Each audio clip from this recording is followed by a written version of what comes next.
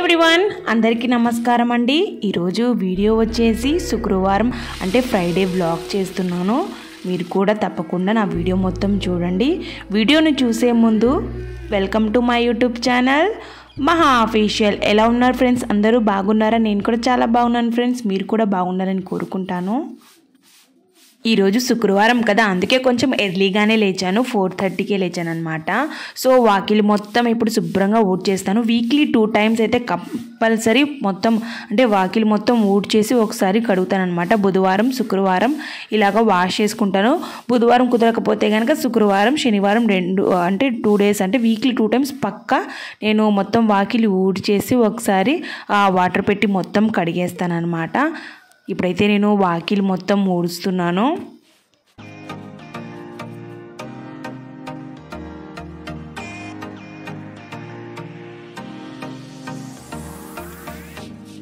నా పనికి తగ్గట్టు ఈరోజు గ్యాస్ కూడా అయిపోయిందండి. అందుకే కట్టెల పొయ్యి మీద టిఫిన్ అండ్ లంచ్ ప్రిపేర్ చేస్తున్నాను. ముందు కూడా నేను చేశానండి. అంటే చిన్నప్పుడు మా అమ్మ చేసేటప్పుడు నేను కొంచెం ఆ పనిని అలవాటు చేసుకున్నాను కాబట్టి ఈరోజు నాకు ఆ పని అలవాటు అయ్యింది. అంటే నాకు కట్టెల పొయ్యి మీద ఎట్లా ఉండాలన్నది ఐడియా ఉంది. సో అంటే అంటే చెప్తారు కదా సిటీలో ఉండి వచ్చి ఇలా విలేజ్లో చేసుకోలేరు అని. కానీ మనం ఏ పనైనా నేర్చుకోవాలండి. తప్పకుండా నేర్చుకోవాలి. అది చిన్న పని అయినా సరే పెద్ద పని అయినా సరే మనం నేర్చుకుంటేనే తర్వాత ఇలాంటి టైం ఎప్పుడైనా వచ్చినప్పుడు అది మనకి చాలా సులువుగా ఉపయోగపడుతుంది. అంటే మనం ఇంట్లో పనులు కూడా చేసుకో అంటే అలవాటు అయ్యేలాగా అవుతుందన్నమాట. సో మనం ఏ పనైనా సరే నేర్చుకోవాలండి. సిగ్గుచేటు లేకపోతే ఎవరేమైనా అనుకుంటారేమో అన్న అలాంటివి అస్సలు పెట్టుకోకూడదు. అలాంటివి పెట్టుకుంటే కనుక మన పనులు అవ్వ అవ్వవు కదండి. మన పనులు మనమే చేసుకోవాలి కాబట్టి అలాంటి ఏ అలాంటివి అస్సలు మనం ఆలోచించుకోకుండా మన పని మనం చేసుకుంటూ వెళ్ళాలి. ఇప్పుడైతే శుక్రవారం కదా అందుకే గుమ్మానికి చక్కగా పసుపు రాసి బొట్లు పెట్టేశాను. ఒకవైపు నేను కట్టెలు పొయ్యి వెలిగించి ఆ చట్నీ కోసం అంటే హోటల్కి సంబంధించిన చట్నీ కోసం నేను ఇక్కడ పచ్చిమిరపకాయల్ని ఫ్రై చేస్తున్నాను. ఆయిల్ కొంచెం హీట్ అయింది అందుకే కొంచెం ఫైర్ అయిందనమాట సో ఇప్పుడైతే నేను పచ్చిమిరపకాయని ఫ్రై చేసుకుంటున్నాను. ఈ పని మొత్తం పిల్లలు లేవకముందే చకచక అయిపోవాలని కొంచెం తొందరలో ఉన్నాను అనమాట సో ఇప్పుడైతే అయిపోతుందిలేండి.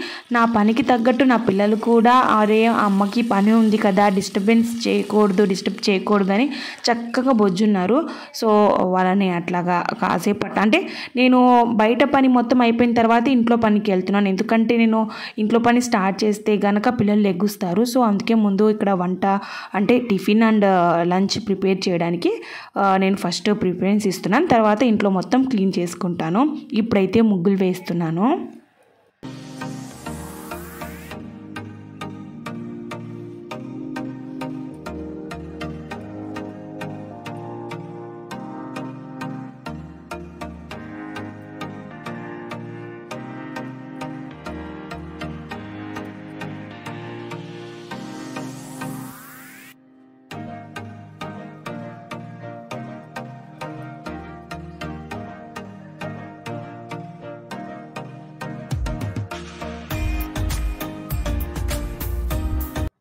చుక్కల ముగ్గులు వేస్తున్నప్పుడు కొంచెం కన్ఫ్యూజన్ వచ్చిందనమాట పదకొండు చుక్కలు వేయాల్సిన తొమ్మిది చుక్కలే వేశాను.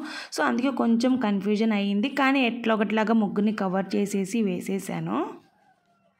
అందుకే అంటారు కదా ఏ పని చేయాలంటే ముందు ప్రాక్టీస్ ఉండాలని. మనకి మంచి ప్రాక్టీస్ ఉంటే కనుక మనం ఏ పనైనా చేయగలుగుతాము. సో ఇప్పుడైతే ఇవేనండి నేను వేసిన ముగ్గులు తెల్లవారిపోతుంది కొంచెం మెల్లమెల్లగా. సో ముగ్గులు అది వేసేసిన తర్వాత ఇప్పుడు మా అత్తగారికి జీలకర్ర వాటర్ ఇస్తున్నాను.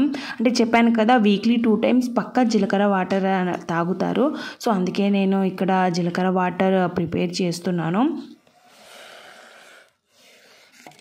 ఇప్పుడైతే నేను జీలకర్ర వాటర్ పక్కన పెట్టేసి ముందు అంటే పిల్లలు లేచే టైం అవుతుంది కదా. సో వెదర్ కూడా చాలా చల్లగా ఉంది. అందుకే వాళ్ళకి వాటర్ వేడి చేస్తున్నాను.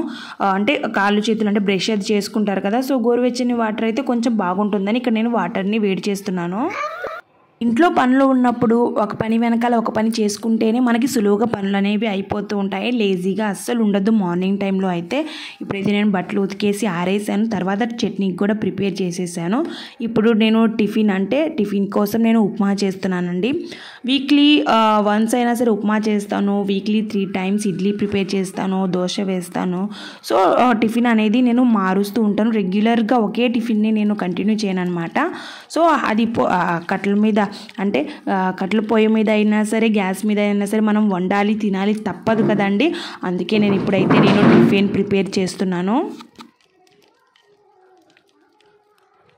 గ్యాస్ బుక్ చేసి కూడా టూ డేస్ అవుతుంది. చూస్తాను ఎన్ని డేస్కి వస్తుందో మరి. సో గ్యాస్ వచ్చే వరకు ఇలాగా వండుకోవడమే. ఇదైతే నాకు అలవాటు అయిన పనే కాబట్టి నాకు అంత రిస్క్ అని అనిపించట్లేదు.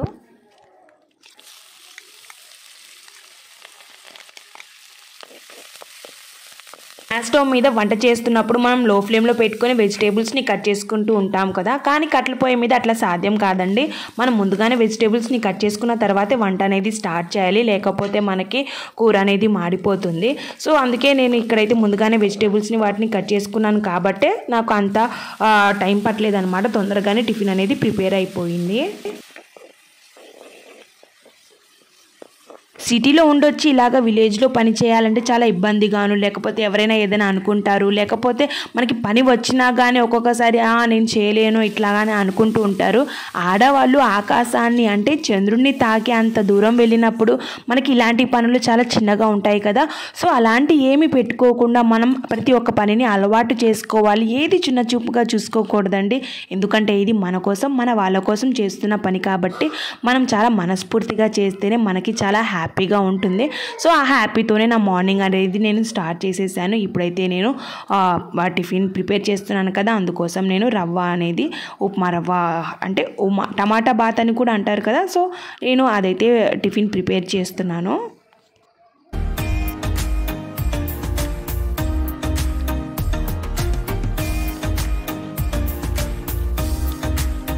గ్యాస్ మీద వండేదానికన్నా కట్టెల పొయ్యి మీదే వంట తొందరగా అయిపోయిందండి. మనకి కూర కర్రీ టేస్ట్ అనేది కూడా చాలా బాగా కమ్మగా ఉంటుందన్నమాట. మన గ్యాస్ స్టవ్ గ్యాస్ మీద వండుకునే దానికన్నా కట్టెల పొయ్యి మీద వండే టేస్టే చాలా అంటే చాలా బాగుంటుంది. ఇలాగ మీరు ఎప్పుడైనా చేస్తే కనుక నాతో తప్పకుండా షేర్ చేసుకోండి.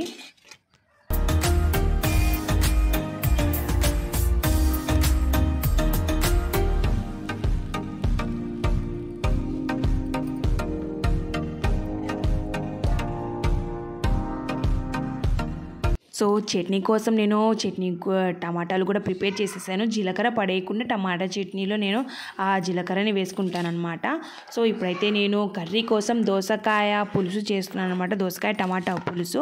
అందుకోసం నేను ముందుగానే వెజిటేబుల్స్ అన్నీ కట్ చేసుకుంటున్నాను అనమాట కట్ చేసుకున్న తర్వాతే అంటే వెజిటేబుల్స్ని మనం కట్ చేసుకొని మనం ఒకేసారి కర్రీని ప్రిపేర్ చేస్తే కనుక మనకి కట్టెల పొయ్యి మీద కదా లో ఫ్లేమ్లో పెట్టుకునే అవకాశం ఉండదు కాబట్టి మనం ముందుగానే కూరగాయల్ని కట్ చేసుకొని వంట అనేది స్టార్ట్ చేస్తే కనుక మనకి తొందర తొందరగా వెంటనే పని అనేది అయిపోతుంది.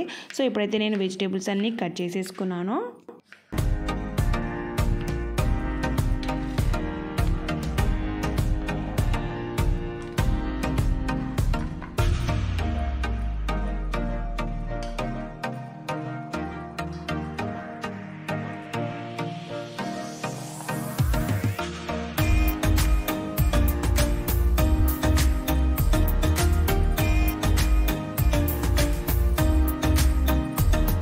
ప్రతి ఒక్క కూరలో కరివేపాకు అనేది నేను పక్కా యూజ్ చేస్తానండి. కరివేపాకు చాలా మంచిదన్నమాట. కరివేపాకుని యూజ్ చేయండి. ఆ, తినండి. మన కళ్ళకి జుట్టుకి చాలా అంటే చాలా మంచిది కరివేపాకు అనేది. సో ఎప్పుడైనా సరే కరివేపాకుని కర్రీస్లో ఎక్కువగా తీ డైరెక్ట్గా మనం తీసుకోలేము కాబట్టి కరివేపాకు కారపొడో లేకపోతే కర్రీస్లోనో లేకపోతే కొంచెం పకోడీలో అయినా సరే ఈ విధంగా కరివేపాకుని ఎక్కువగా యూజ్ చేసుకుంటే మనం డైరెక్ట్గా తినలేకపోయినా ఇలాగా ఇండైరెక్ట్గా తినగలుగుతాము. ఇప్పుడైతే పిల్లలకి స్నానాలకి నీళ్ళు కూడా కూడా వేడైపోయినాయి.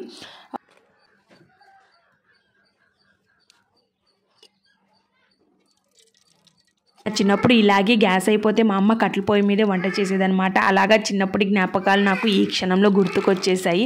మా అమ్మ చాలా కష్టపడేది పుల్లలు ఏరుకొచ్చేది కట్టెల పొయ్యి మీద ఇట్లానే వంట చేసేది. సో మా కోసం మా అమ్మ నాన్నలు చాలా కష్టపడ్డారు. సో నాకు ఇలాంటి సిచ్యువేషన్లో అది గుర్తుకు రావడం చాలా అంటే ఉంటుంది కదా కొంచెం ఫీలింగ్ అనేది. సో కొంచెం ఎమోషనల్ అయ్యాను.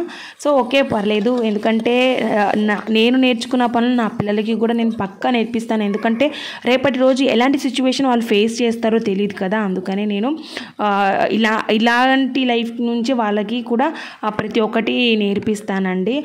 పెద్దయ్యాక వాళ్ళకి ఇబ్బంది కలగకూడదు. ప్రతి ఒక్క పని వాళ్ళకి వచ్చి ఉండాలి. ఈ పని కాదు ఆ పని కాదు అన్ని పనులు నేర్చుకోవాలండి. అప్పుడే ఎక్కడైనా సరే బ్రతకగలుగుతారు. సో అలాంటి మోటివేషన్తో నేను మా- మా పిల్లల్ని మేము పెద్దని పెద్దవాళ్ళని చేస్తాము.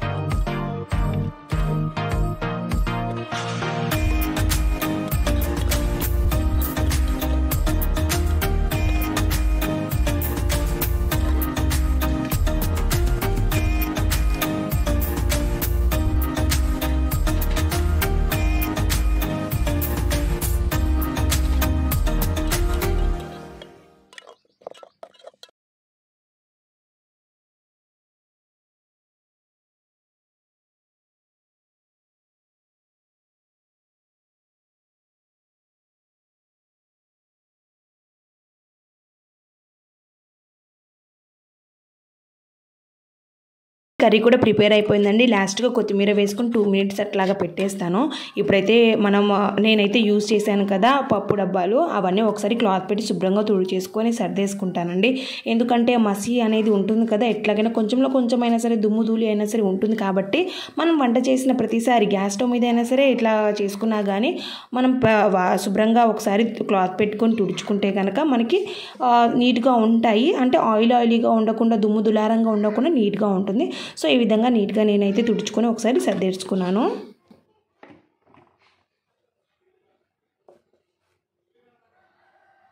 వంట పని అయితే పూర్తయిపోయిందండి. అందుకే ఇప్పుడు నేను వెజల్స్ని వాష్ చేస్తున్నాను.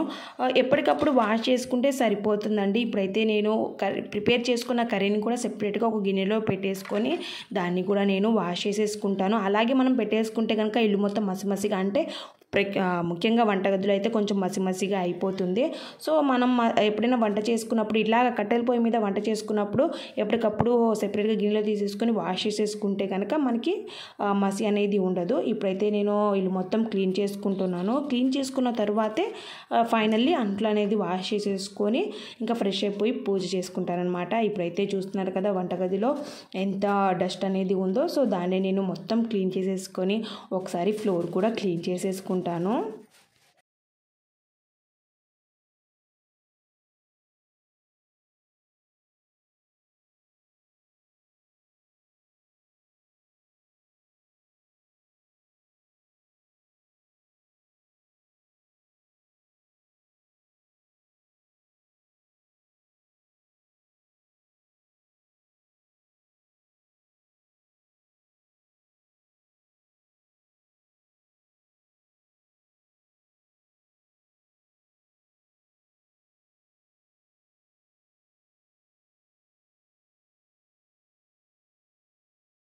క్లీన్ చేసే టైంలోనే నేను అన్నం కూడా వండేసానండి.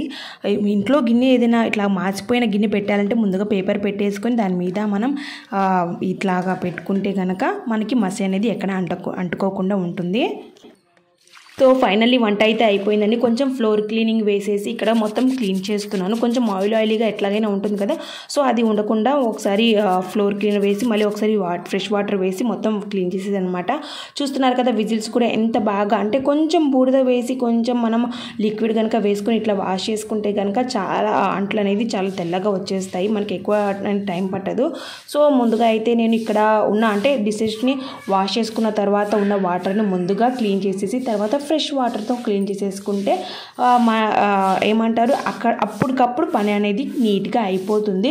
ఇవి మొత్తం నేను మీతో ఎందుకు షేర్ చేసుకుంటున్నానంటే కొంతమంది విలేజ్లో పని చేయాలంటే ఇబ్బందిగా ఫీల్ అవుతూ ఉంటారు. కాదండి అలా కాకుండా ఇలాగా ఒక పని వెనకాల ఒక పని చేసుకుంటూ ఉంటే కనుక మనకి పనులన్నీ చకచక అయిపోతాయి. ఇంకా మనకు కూడా పని అయిపోయిన అయిపోయింది అన్న సాటిస్ఫాక్షన్ ఉంటుందని నేను ఈ వీడియో మీతో షేర్ చేసుకుంటున్నాను. సో ఈ అంట్లయితే ఇప్పుడు కాసేపు ఎండలో పెడుతున్నాను అనమాట సో ఎండకి కొంచెం అంట్లు అనేవి కూడా కొంచెం షైనీగా అయిపోతాయి. ఇదేనండి ఇప్పుడైతే నేను మొత్తం ఇంట్లో మొత్తం క్లీన్ చేసుకున్నాను కదా సో దాన్నే నేను మీకు చూపిస్తున్నాను.